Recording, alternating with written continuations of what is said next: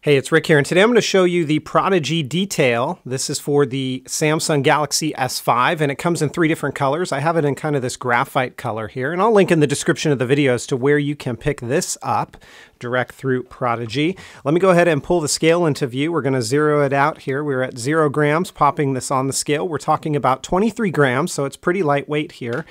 And let me go ahead and pull the phone into view. So again, this is a slider case. On the inside, you've got some rails here that are nicely lined with a kind of velvet-like material. You're going to grab your phone and just simply slide it into place like you see me doing here, and then slide that bottom piece on.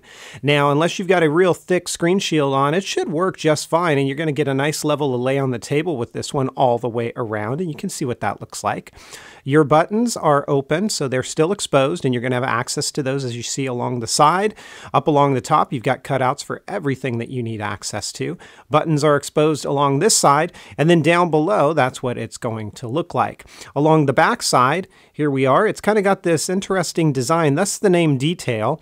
And you've got some Prodigee branding there. You've got cutouts where they need to be. It's going to show some minor fingerprinting, really, really minor stuff here. Uh, but it definitely gives you a interesting look on the back of the phone. These buttons of course, they're not covered, so they're very easy to press, and you really don't notice that the case is there all that much. Again, this is the detail case. It's a nice slider case from Prodigee. I like this one quite a bit, and I'm going to give it a 5 out of 5. If you guys have questions, comments, or feedback, as always, please feel free to let me know. You can hit me up on Twitter at Metagamers as well, and I'll catch you guys next time. Take care, everybody, and have fun.